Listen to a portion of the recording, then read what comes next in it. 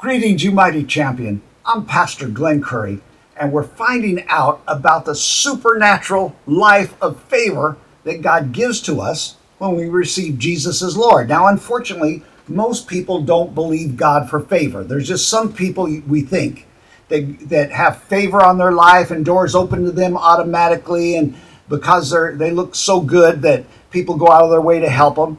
Well, that is true. That's really true. People show favoritism to beautiful people. But if you're like me, you're going to have to believe for favor, all right? I want to talk to you about favor. And I want you to know that favor is your victory in battle. When you appropriate the favor that God has for you, your enemies are going to be defeated. Now, I want you to know that your enemy is not necessarily a person. Your enemy could be discouragement or lack or insufficiency or sickness or any of those things that uh, attack you and try to make you less than who Jesus came to make you and give you life more abundantly, John 10 10. But in, um, in Psalm 41 10, I'm pretty sure, it says, This I know that you favor me because my enemies never triumph over me. Okay? So, our enemies never triumph over us because God has favored us. That means we win in battle. One translation say says, "My enemies never raise a shout of victory over me." Or a shout over me it says, and I added a victory.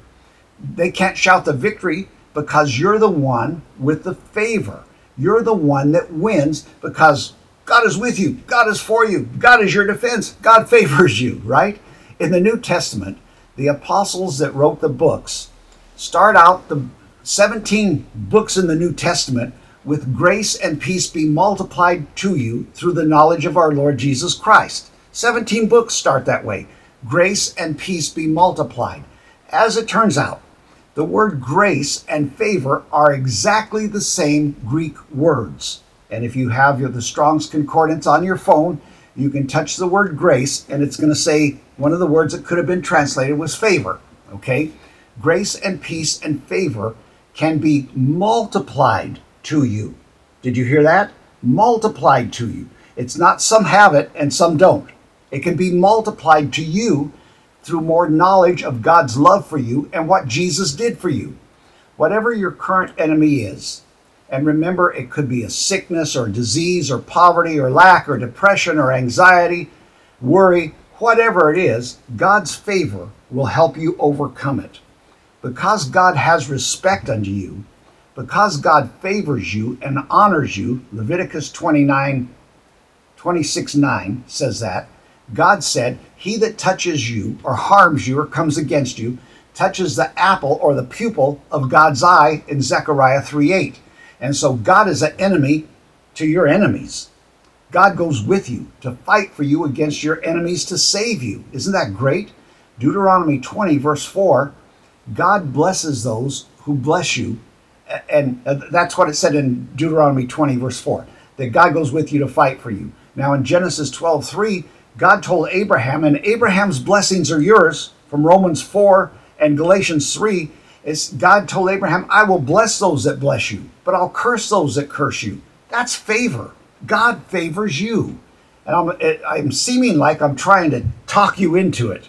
But I, as you see the evidence through these lessons, your faith is going to rise like a thermometer on a hot day.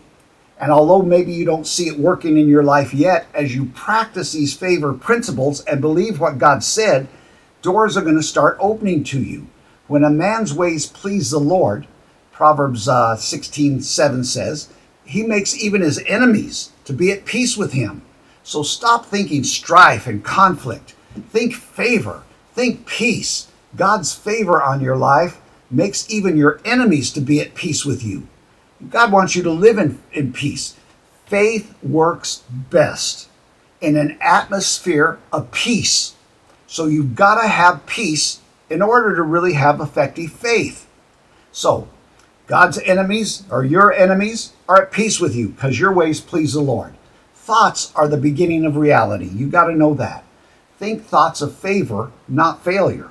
What you think about, you bring about. Meditate God's word, especially in the area of love and favor on your life, and that's going to bring you positive results for sure. Your life is controlled by the things that you instill into your spirit through your thought life. Think favor, think success, think that God is with you, God is for you, God is your defense. You can't go under for going over. See yourself walking in great favor through the eyes of your faith. See that and then live it out. It into reality through of affirmations and repetition. Grace, favor, and peace is multiplied to me through the knowledge of Jesus Christ, which I'm getting day by day. 2 Peter 1, verse 2. God wants to multiply favor and, and your current experience to something bigger than it's ever been before.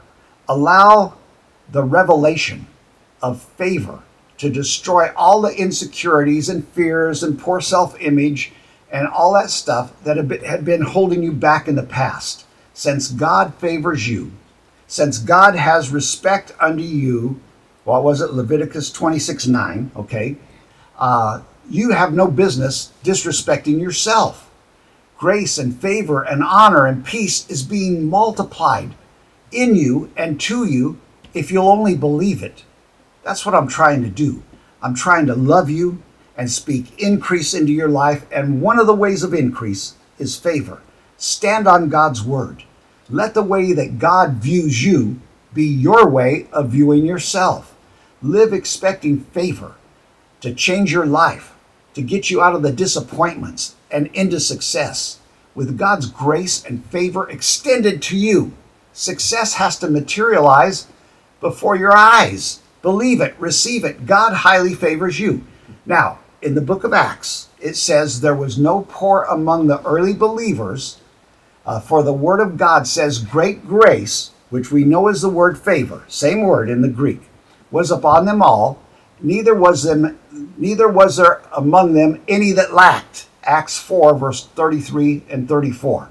So there was no lack. Praise Jesus. I don't want lack in my life. I had an apple out of that barrel, and I'd rather have every need met. How about you? Favor is a gift from God that will contribute to your prosperity, to God prospering you. The Bible says in Proverbs 22 1 that favor is to be chosen above silver and gold. So favor is greater than both silver and gold because favor can produce silver and gold. With favor, great material wealth can come forth into your life. The Bible says God is able, and I like to say uh, Cain killed Abel 6,000 years ago. Don't say God's able, say God's willing. God is willing to make all grace, every favor, every earthly blessing come to you in abundance so that you may always, under all circumstances and whatever the need, be self sufficient talking about in God's sufficiency. That's 2 Corinthians 9 8 in the Amplified Bible. If you have that U Bible, look up some of the different translations for 2 Corinthians 9 8, and you're going to see, man, God is with you big time. Earthly blessings that will make you self sufficient in the very sufficiency of God comes to you through favor. That's what God said. That's 2 Corinthians 9 8, Amplified Bible. I'm Pastor Glen. Remember, faith faith, and favor are going to open great doors of blessing to you. Please follow and subscribe below. Comment and say, God highly favors me, or the favor of God's on my life. Do something, do an act to show that you're starting the process of favor in your life. Use your faith, have a great attitude, believe for favor, and make a great day in Jesus' name.